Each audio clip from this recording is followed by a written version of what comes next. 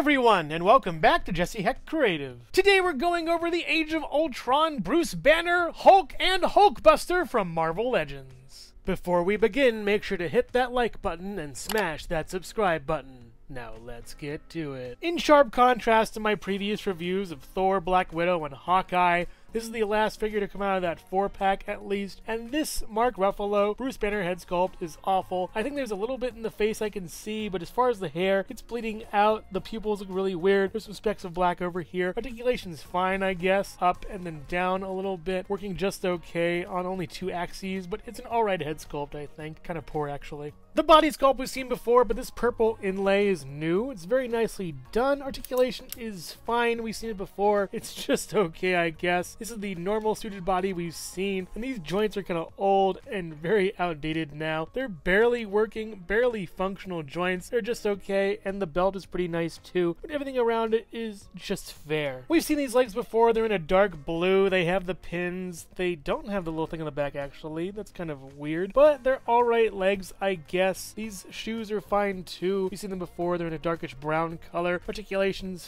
fair, I would guess. It's just okay and not the best legs, shoes, boots, what have you. Two peg holes at the the feet and not really much sort of traction on the bottom. It's an alright figure that needs to be replaced and luckily we have a replacement. Here is the box for the Infinity Saga Bruce Banner looking awesome. Really nice upgrade over here. Infinity Saga Bruce Banner Avengers Infinity War Legends series on the top, same thing. On the side, a bunch of Avengers on the back, a poster, and still struggling with the vitality of his alter ego, Bruce Banner must make peace with himself to help stop Thanos from wreaking havoc across the galaxy. More figures over here. On the bottom, all the legalese you ever need. Let's open up Bruce Banner. The head sculpt is much better for Mark Ruffalo here. Kind of cherubic in a way. Kind of like bigger also. But it does look nice. It looks much better and more Mark Ruffalo-y than the previous head sculpt. I do like the hair. He has a little bit of sort of gray spots the temples. What, are we gonna use this for Mr. Fantastic or something? Anyways, we have a swivel over here and some up and down that's pretty loose and working out fine, as well as some nice pivot for this pretty good Bruce Banner Mark Ruffalo head sculpt. This body got quite the upgrade from the previous figure, a bigger jacket, pinless arms, fists over here as well, as well as a different interior looking nice, goes back and forth pretty well, and goes up and down very nicely all the way around. You do get a swivel over here for articulation, as well as some nice elbow joint over there, the swivel, and then a hinge going up and down over here with a twist for the waist on the other one too, and the silver belt is pretty nice other than the gold. I like how this looks. It could be more purple though, but it is sculpted very nicely. I think the legs are the exact same thing as the previous figure, but these shoes are new. They look nice and are pretty cool, so I gotta give them points for that. You can go out and in, up and back, all the way back, and there are pins over here. Sadly, you a swivel over here and a swivel kind of down here, not really. You just get a pivot and then up and down, not really that great, and very, very thin peg holes, as well as all the stuff and all the markings on the bottom of the feet. It's nice and works out pretty okay for this Bruce Banner. I think it's a good replacement for the previous. He does come with two alternate hands that are really poorly sculpted. Look at all these weird flangy pieces that are weird. Get a swivel and then an in and out for that. I would have loved to see a struggling green Hulk head. Something angry, something cool like that. This head is fine, but an extra head would have made this set go the extra mile instead of these hands. The old Bruce Banner stands at about just under 6 inches tall, 5 and 3 quarters inches or so, and the new Bruce Banner stands at around 6 inches tall even. And here are the Bruce Banners next to some other suited bodies. We have Agent Coulson and Happy Hogan, as well as Nick Fury and Tony Stark, looking nice together. And also here's Peter Parker and Wilson Fisk next to the Bruce Banners. Someday we're gonna get a movie with them.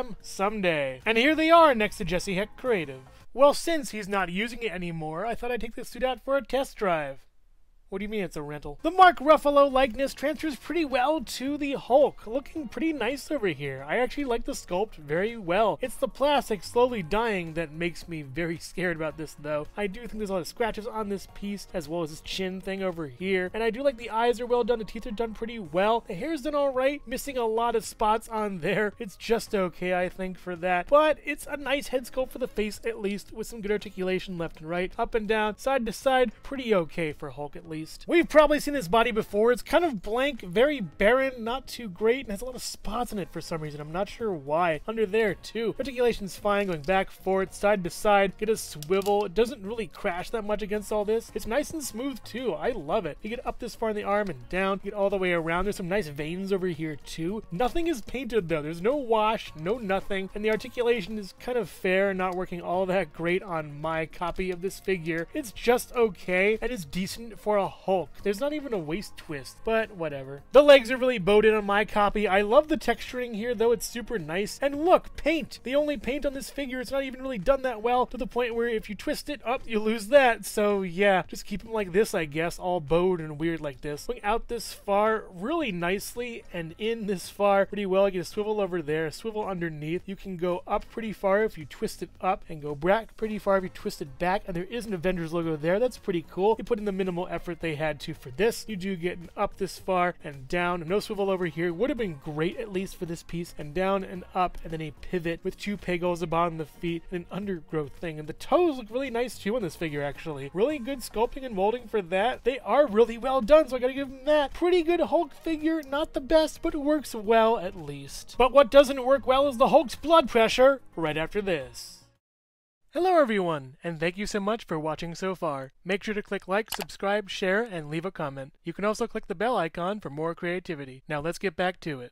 This Scarlet Witch charged Hulk is awesome. This head sculpt is amazing. The veins are beautiful, coming from the neck to the head with that yelling head sculpt. It's just so great. The furrowed brow and the eyebrows are awesome. The pink around the eyes is really great. And more veins over here and on the back with just hair over there. Wish there was some more veins. You get some nice swivel and then up and down, some side to side on this excellent scary Hulk head. We just went over the body, but there are some differences such as this hair on his chest looking awesome, and some veins that are painted going down his arm. I really appreciate the detail and work they put into this, even if they just gave us a Hulk that is just mostly green, but this one is a very pale green, and the legs are kind of the same too, but not much paint at least. We have some more paint up here though, and the Avengers logo was gone for some reason. I guess he's not part of the Avengers when he's fighting the Hulk Buster, but it looks very nice from all angles, and it's a super good Hulk figure. I think slightly better than the previous. Here's both Hulks together, and they stand at about, I would say, just under 8 inches tall, around 7 and 3 quarters or so each, 7 and a half. They're really cool figures and just look awesome together. Here are the Bruce banners next to their respective Hulks, looking awesome over here. I'm not sure which Hulk I like better. I don't know if I'll keep them both. I'm definitely getting rid of the old Bruce banner though. The new one looks nicer at least and has more that comes with it. And here's Tony Stark and Nick Fury next to the Hulks, looking nice at least. Tony, say you're sorry. And here they are next to Jesse Hecht Creative.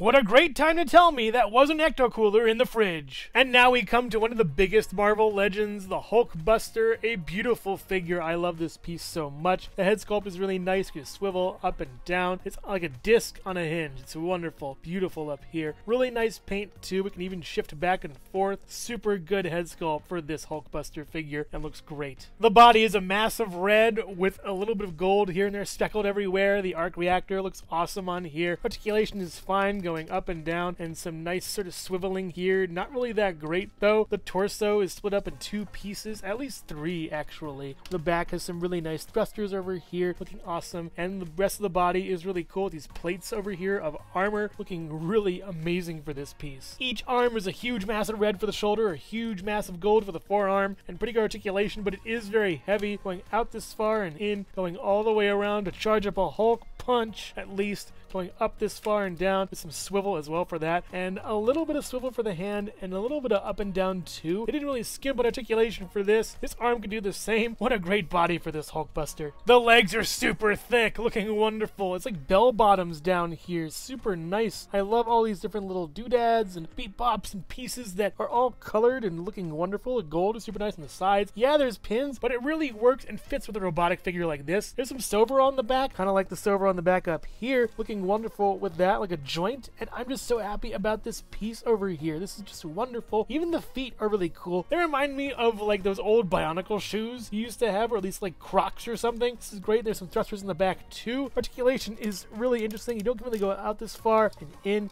You go up this far, not really, and back, not really that much either. Sadly, you do get a double jointed knee going up this far at least and down with some pretty good swivel and then some up and down over here and a little bit of pivot too also. So this is the Hulkbuster figure, probably one of my favorite figures for the MCU. Just a fantastic character to have in the collection, the Hulkbuster. And here we have Hulkbuster next to the old Hulk and new Hulk looking really nice together and pretty well in scale. Here we have the Hulkbuster next to Happy Hogan, Tony Stark dressed for the occasion, and both Bruce Banners looking really nice. They all fit pretty well in scale with the Hulkbuster. And here's the Hulkbuster next to Nick Fury and Jesse Hecht Creative. Oh, you guys are screwed now. Overall, Bustin makes me Hulk smash. The first Bruce Banner we got way back when is a nice figure for its time, but it's been definitely replaced in the long run. This new Bruce Banner is cool with all its updates, but I find that having a turning into the Hulk head would be better than those two hands. The Hulk figure from Age of Ultron is awesome. I really love the paint on it as well as the sculpt. I think it's actually better in some ways than the Angry Hulk. Angry Hulk is awesome. I love the new head sculpt and the new paint application, but I find that the pale green kind of turns me off to using this as a regular Hulk for my collection. And the Hulkbuster, what can I say? One of the best MCU figures that Hasbro has put out to date. The articulation may not be up to today's standards, but what can you expect from this chunky boy? If you're a fan of Bruce Banner, the Hulk, or the Hulkbuster, I would highly recommend getting the Hulkbuster, the regular Hulk, and the new Bruce Banner. They're all great. As far as the Angry Hulk and old Bruce Banner go, that's up to completionism or preference. But make no mistake, B-U-S-T-E-D, you are busted. So which Hulk or Bruce Banner is your favorite? Normal, angry, new, old? Let me know in the comments below. Thank you so much for watching Jesse Hecht Creative. Make sure to click like, subscribe, share, and leave a comment. You can also visit us at jessehechtcreative.com for more reviews like this one. Thank you so much for watching, and keep being creative. Stay tuned.